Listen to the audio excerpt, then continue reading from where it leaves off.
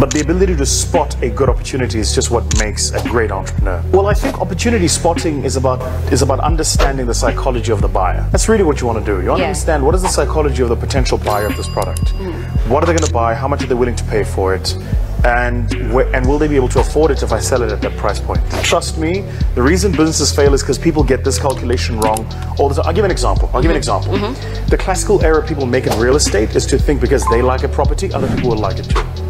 This is true, yeah. So you overinvest in the property, you put too much money in it, or something like that happens, and then before you know it, you've lost money. It didn't go anywhere. It didn't mm-hmm. give you the income that you wanted. So you've got to be careful.